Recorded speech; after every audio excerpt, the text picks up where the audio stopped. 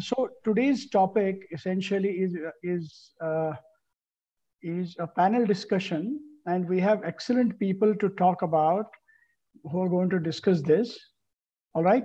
Unfortunately, our colleague from uh, Jaipur himself is not really available for this. So we have Anusheel Munshi, we have Sadashivudu, we have Amit, we have Shyam, and uh, we have Arun from, uh, then they are from all over India. Now, the topic here is management of early lung cancer, and then the, and the prism from which we are seeing it is precision medicine.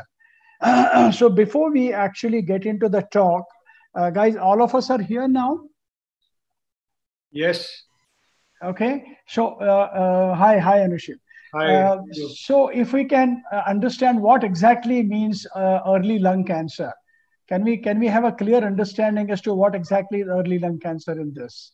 How far how far are we ready to go to call it a lung, uh, early lung cancer? Can we have a consensus about it?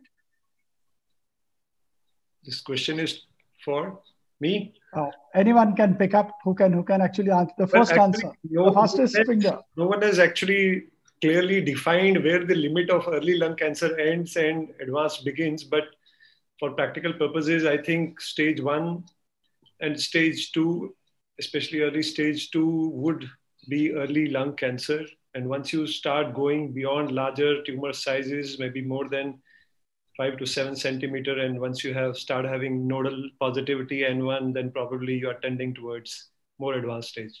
Okay, so uh, it, would it be all right if we if we say that stage one all categories and stage two categories would still be counted as early lung cancer? Yes. all right.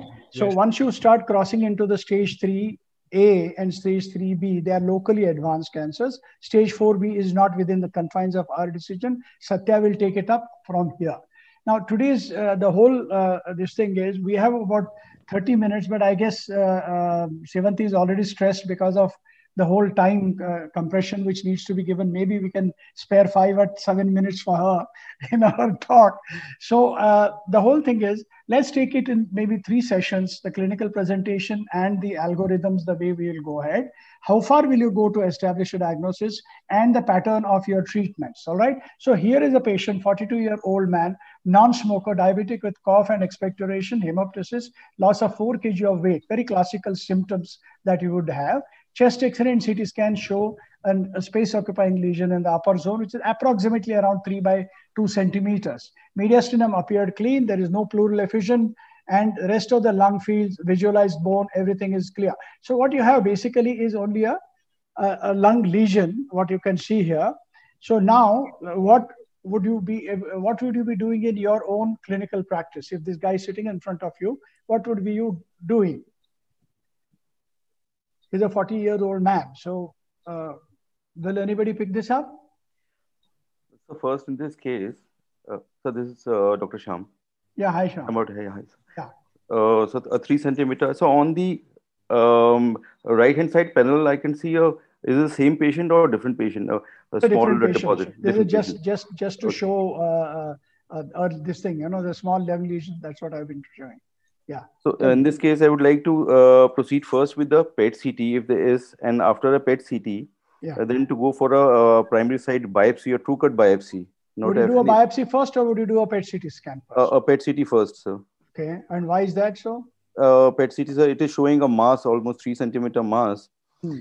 um, and uh, three centimeter mass, which most likely in patient is. Uh, um, and here, here the history of uh, weight loss of almost 4 kgs weight loss. Right. Would like to go over a PET CT followed by a biopsy. Okay. What kind of biopsy would you like to have? a true cut biopsy, uh, uh, probably a CT guided biopsy. Okay. Would you think that bronchoscopy will give you any advantage in this? Not in this, sir. Not in this particular patient. So, would you think that uh, hemoptysis is a little unusual kind of a symptom in this kind of a patient who has got a Um, peripheral small lesion? Uh, Or you can speak that. Uh, sir, um, like first would like to go to PET CT. I think hemoptysis is slightly, um this lesion cannot explain the hemoptysis. You are, you are right. Okay. All right. So uh, it is unusual, but please understand that even a small lesion in the entire periphery also can still throw a hemoptysis. But if you have a very small rounded lesion in the periphery, very much in the periphery, and if you have a severe hemoptysis, it goes more in favor of a neuroendocrine tumor rather than a carcinoma because right. generally they are the ones who throw out blood quite a lot. So that is the thing. So your further investigations would go through the normal uh, uh, algorithm of say blood study, the chest, the radiology you have already done. Tell me one thing. Do you do PET CT scan in every stage? Suppose if this lesion was one centimeter, would you still do a PET CT scan? Although there is no recommendation for such a small lesion, peripheral lesions, to do a PET CT, but mm-hmm. looking at the current scenario where the patient may, at later point of time, it come out to be a, a malignancy, he, he may come out to why we have not on demand. We would go for a very early. Otherwise, uh, not in a one to two centimeter peripheral lesion when uh, very rounded and on CT mediastinum is totally clear. In those cases, I would like to skip. Okay, uh, we have four other guys who can actually vote for this. Uh, yes. what do you think? Yeah, I'm, I'm Dr. Sadashiv. Hello. What Dr. Hello. What Dr. Shyam said actually practically make makes sense. But if you see the guidelines and go by the uh, what is written in the guidelines, then NCCN would probably recommend PET CT even for stage one, stage one A. In your clinical practice, what do you do? In, a, in my clinical practice, I would actually err on the side of doing a PET CT rather than withholding a PET CT. What about the other guys? Yes, sir. I think I'm Dr. Sadashiv. Just I'm unable to show my video, but I think no problem. Uh, here, yes, sir. Definitely, whenever we are planning for definitive therapy, it is a curative intent. So we would prefer PET CT. So there is no question of we can't escape from the PET CT. Because if you're going to investigate to... and intervene in this particular patient, you need to have a PET CT. Apart yeah. from doing an imaging for the mediastinum also, there is a possibility that you know there are a very small percentage of patients up to 1% who may be having a second malignancy which will actually show up. You know we have we have a series of a large number of patients who have actually shown up malignancy in the kidney in the colon at the same time when you have a primary like this. So that actually changes your entire decision. So that is something which actually is contributory. What about mri uh, shyam what about mri of the head no, so MRI, I would not like to go for an MRI in this uh, three centimeter lesion because MRI, stay, uh, if the notes are positive in the mediastinum, then I would like to. Even the guideline says a stage three and above MRI of the brain. Okay, a, a three centimeter lesion, would you do a, a, MRI of the head? No, I would not do MRI of the head. Anusheel, what do you think? What is the incidence of metastasis in the brain in case of stage one, stage two uh, lung cancers? Well, well, if it is stage two or stage 2B, I would definitely like to do an MRI. But uh, for a stage one, uh, if a whole body PET CT, contrast PET CT, including the head, has been covered, I would be reasonably okay with that. Okay. So the cutoff here would be maybe about two centimeters? Maybe around three centimeters. We are at, stage two, T1 lesions. Okay, okay. Stage two, I think we do and we, we tend yeah. to do the brain MRI. But stage right. one, so, this is so stage one, stage one C. This yeah, one C exactly. T1. If you if you review the literature, actually even in stage one, you have about 1.9 percent of patients who will show hmm. Uh, asymptomatic kind of a brain met. But now the thing is, uh, uh, statistically, it is not supposed to be very significant. Though I don't know how, as a clinician, it doesn't remain significant at all. You know. So, but by and large, that is not a guideline for NCCN. So, in case of early lung cancer, in case of stage one, we do not generally advise MRI head. All right. Now, tissue diagnosis, now uh, you said that you would insist in getting a CT guided true cut biopsy. Suppose this patient comes to you with a sputum positive adenocarcinoma. He, he comes with it. He says, I've got an investigation done. It is showing adenocarcinoma as per the pathologist. Would you still go ahead and do a biopsy? Yes, sir. Yes, sir. Yes. We do. We still have a concurrence here. Yeah, because we need we need we need more tissue for, for, for what? Testing. For further testing, like an anything uh, EGFR. what what or, testing? What testing will you do? Now we are doing something easier for ALK and even sometimes also people there. Uh, of course, the research said, but uh, PDL one is not just more routine one, but at least EGF and ALK can be done. Okay. Before you go for any surgery. So I think the talk just before ours yeah. from our guest from Singapore, he said that they group the whole thing in three in three uh, manners. So uh, uh, he said that they actually break the thing into three parts. One was molecular diagnosis, one was histopathology, and the third was the, the, the uh, immunohistochemistry, right? Yeah. So from for that point of view, you will need a true cut biopsy, right? uh, I would like to know from this August panel, do you always ask for a mutation testing or a checkpoint inhibitor assay? In an early, No. we are talking of early No. lung cancer. Please mind you, do you ask for mutation testing or checkpoint inhibitor? Now we are asking for uh, the what's called uh, mutation markers, like especially EGFR and all. etc. PDL1, I think not routinely, but yes, because No, in recent some studies, yeah, some studies said I think we can use TKIs in EGFR positive even resected tumor as adjuvant therapy. Yes. I am not aware of any such evidence that recommends uh, using uh, anti-EGFR or TKI inhibitors in early stage lung cancer. No, no, sir. I think recently there is a problem. just recent ASCO. They said clear the osimertinib can I be used in Asia. Yes, Is it recommended practice? I don't know.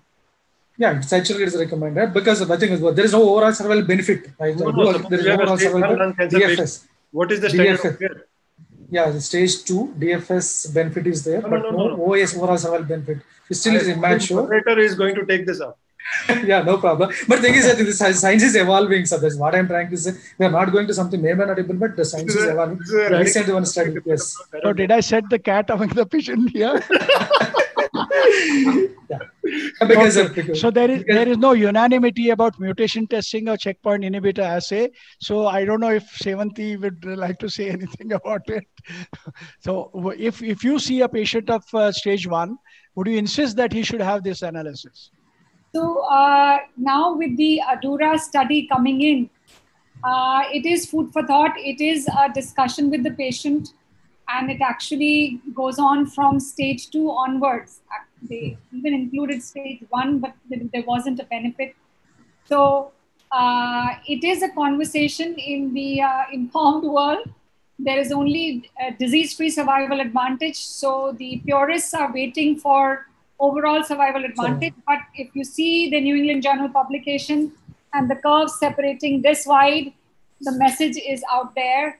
And um, with the delay in recurrence of several years, not just months, uh, it just uh, does shed light to another mechanism that may be in play in patients who are EGFR positive.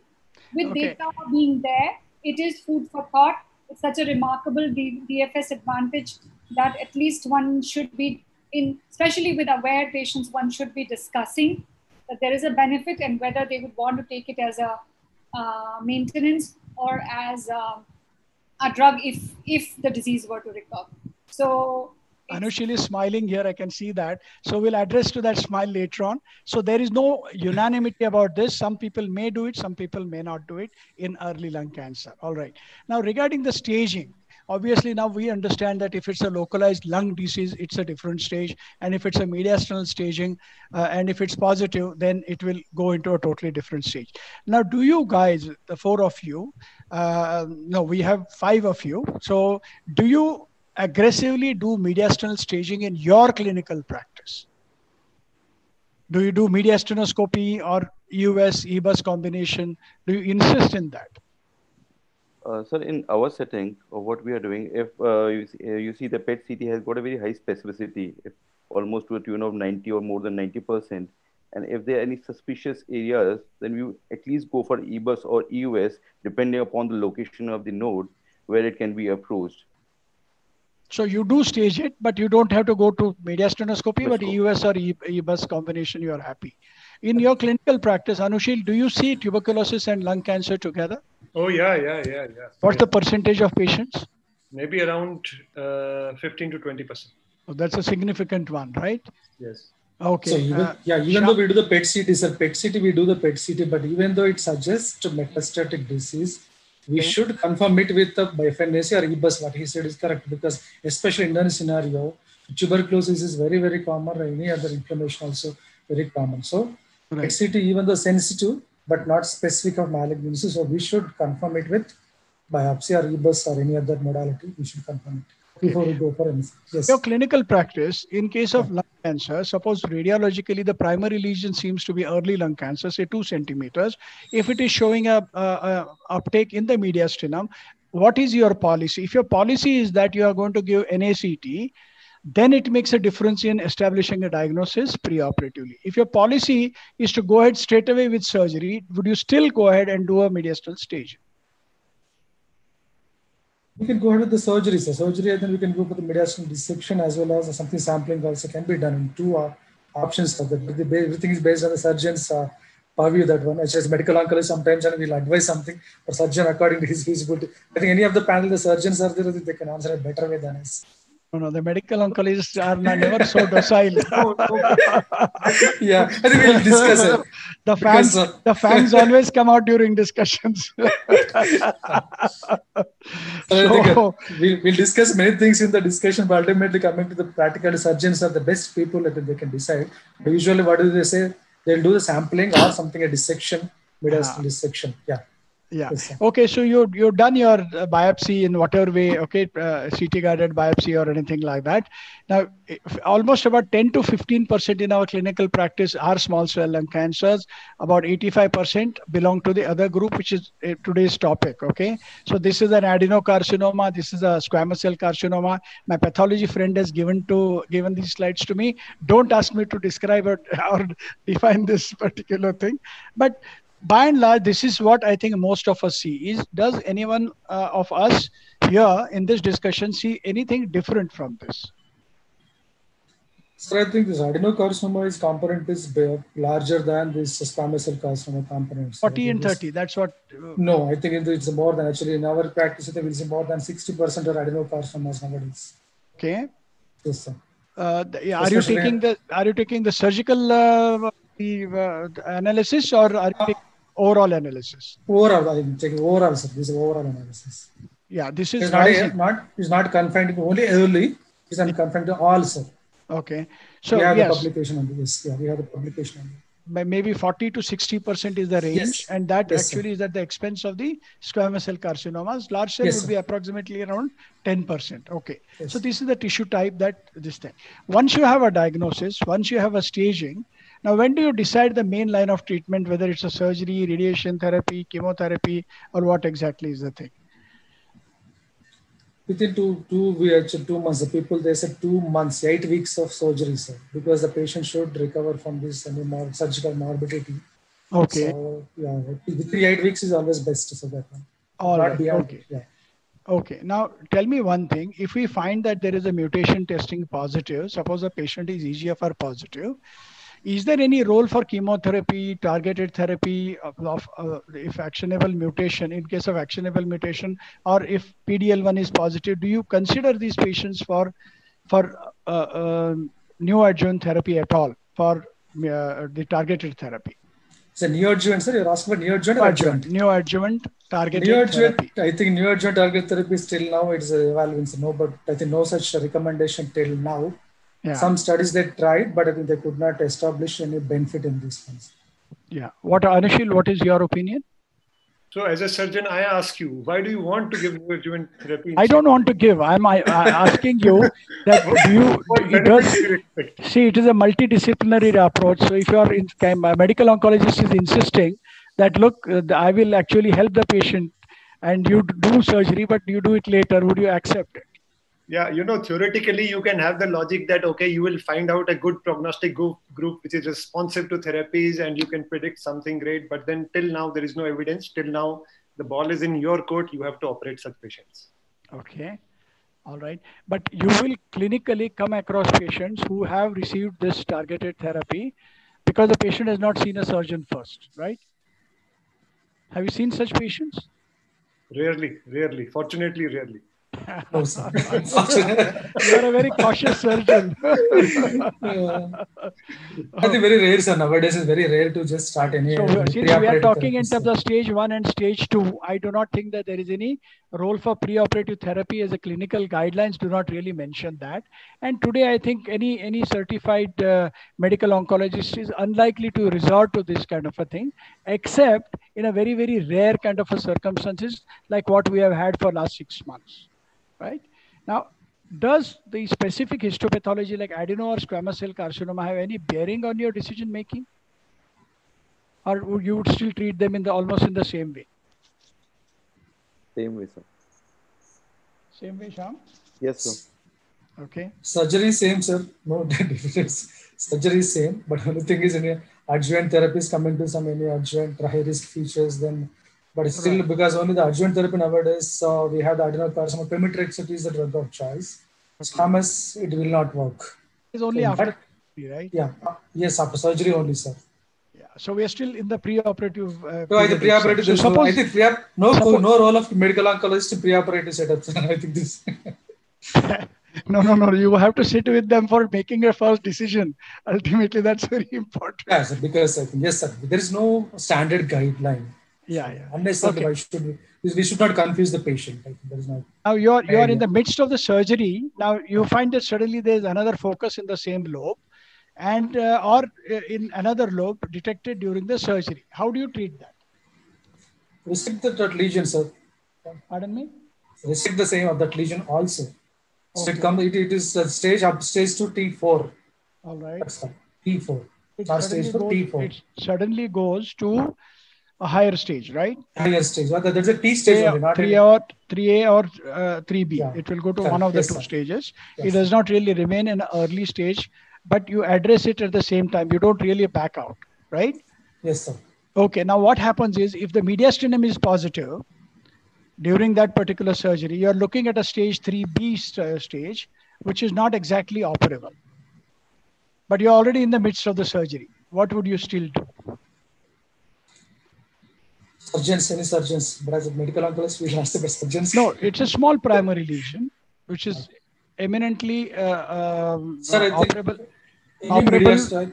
Uh, theoretical concern or something guidance. No, no, no, no. I'm asking is something practically yeah that you are doing a lobectomy, which is very easy, straightforward. Suddenly you find another focus in another lobe, and you also find that there's a mediastinum uh, node which comes as positive on frozen section. So you're looking at a T4 and N2, which straight away takes it to 3B. Now you are in the midst of your surgery. What so will you do? will you back out or will you complete your surgery of the, the lymph nodes are very limited. Only one station. Again, they can go ahead with the surgery. Sir. Okay. So yeah. even in a stage 3B, yes, a patient will do better yeah. by resection of the disease if you're already in the midst of surgery rather than leaving the disease behind, right? Yes, sir. I do agree, sir. We're only one station or there, I think we definitely we can go to the surgeries. Okay. All right. So I think we settled for that. Okay. Now, further pathway after tissue confirmation in surgical patients of early cancer. Now, do you investigate every patient with a PFT or some patients with CPET? Anusheel? Uh, you mean pre-surgical? Pre-surgical, yes. Pre-surgical, yes. Of course, there will be a full evaluation of PFT, DLCO. In some every patient undergoes DLCO? Every patient undergoes DLCO. Okay. At our, at our center, every patient undergoes DLCO. Acha. How how often do you do a CPET? Not not common. Not common. Okay. So it is a sequential thing. If the DLCO is is uh, borderline, then you would go for a CPET. Correct. All right.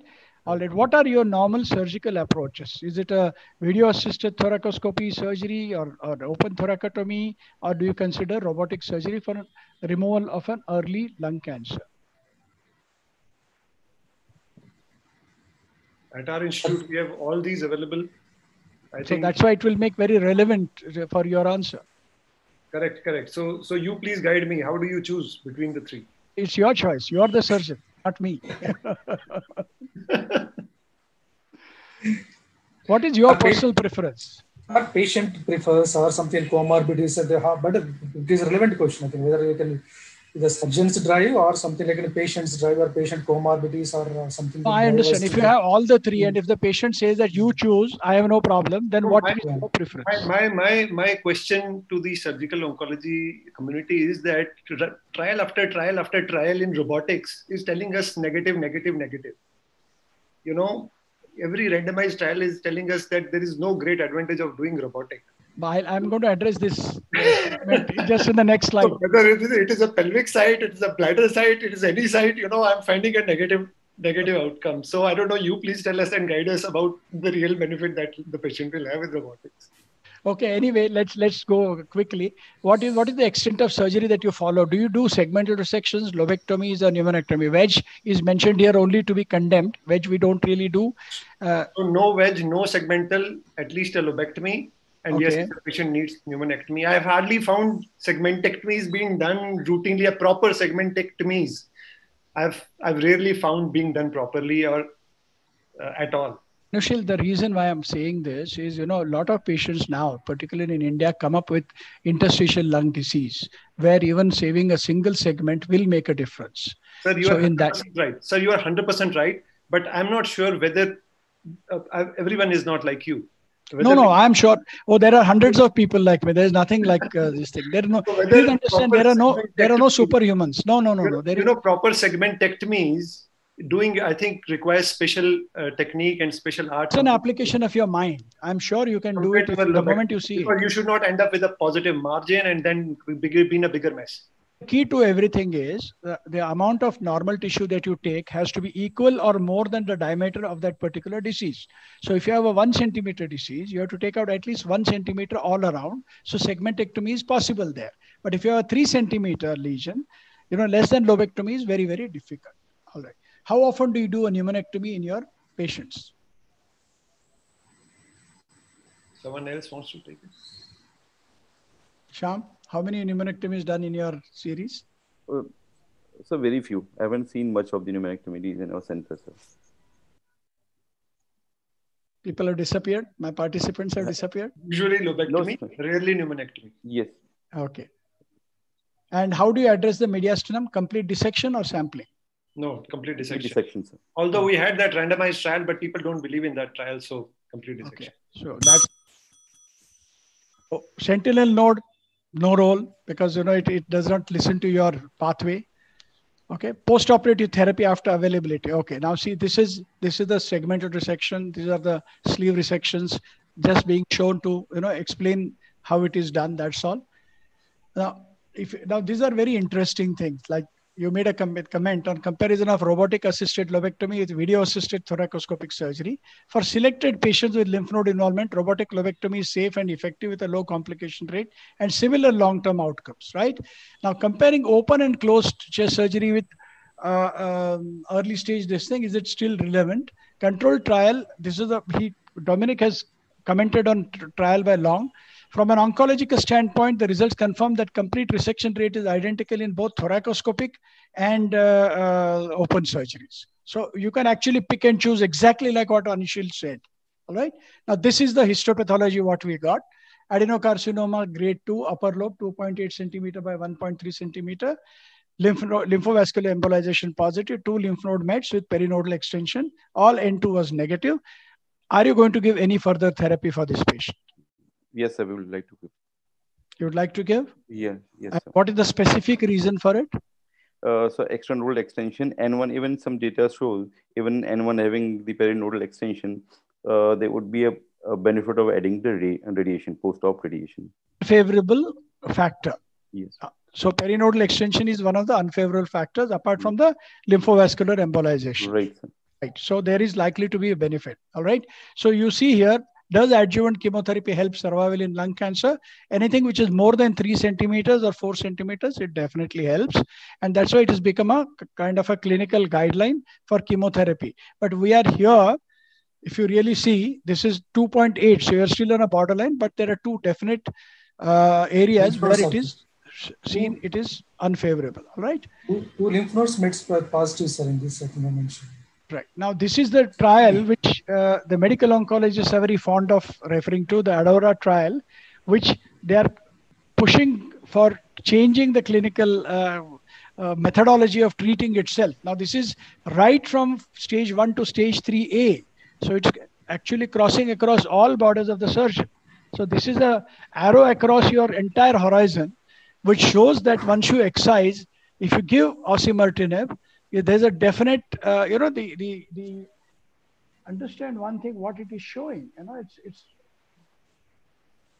it is, it is something which is, you know, the hazard ratio is 0.17. I mean, this is unbelievably good. So, I mean, this, uh, are we, are we going to change our line of uh, uh, uh therapy in that? What is, what is your thought process? Shyam, what do you think? Um, sir, uh, the data is quite convincing, sir. So I think uh, maybe there are some other trials which are going on right now, as discussed previously. I think uh, the medical oncologist would be tempted, and if there is improvement in the OS ben, if there is OS benefit, This is the thing, and now I'm going to put up something which will make Anusheel very happy. See, only overall survival matters. So there is something like this, erlotinib versus chemotherapy. When you see progression-free survival, this was the data.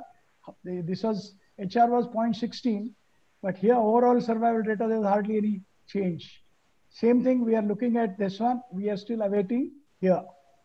So the hardcore endpoint is overall survival. You have hit the nail on the head. so as of today, I think uh, well, you don't really lose anything if you want to err in, in favor because I'm sure the medical oncology will will turn the, the, the, the stone on its head to find out whether it will help or not. But till that thing comes, we can't really change our overall line of treatment. Okay. Thank you very much. Uh, thank you. I, I thank, thank the panel and I thank uh, Sivanti for this wonderful opportunity. But I have a I have a bone to pick. Yeah. Where is SBRT? SBRT, okay. Uh, we can just have problem. Next time. Talk. When do you choose a patient for SBRT? Next time.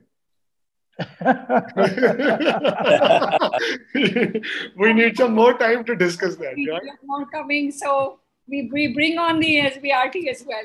And thank you so much. Thank you, uh, so much. Yeah. Sir, all the panelists for this wonderful, wonderful discussion. This very, very involved and uh, you know, uh, entertaining discussion. Thank you.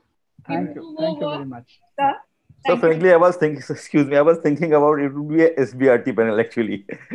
so I was quite enthusiastic about the SBRT. So, yeah. so you didn't discuss about the. So had it been a 60 year old male, would have discussed about the SBRT? No, I don't think so. Unless and until there's a medical contraindication for surgery, I don't think there's any justification, even if the man is 80 years of age.